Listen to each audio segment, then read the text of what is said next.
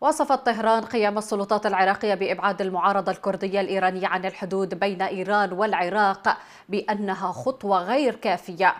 وقال محمد باقري رئيس أركان القوات المسلحة الإيرانية خلال استقباله وزير الداخلية العراقي عبد الأمير الشمري في طهران بأن بلاده تتوقع من العراق أن يقوم بنزع سلاح الجماعات المعادية للنظام بشكل كامل.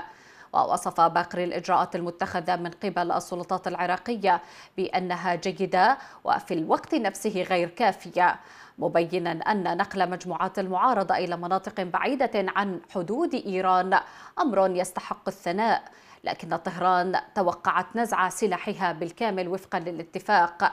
وشدد على ضرورة أن تحل هذه القضية بشكل تحل هذه القضية بشكل نهائي كي لا تبقى قوات إيرانية كبيرة متمركزة قرب الحدود بين البلدين.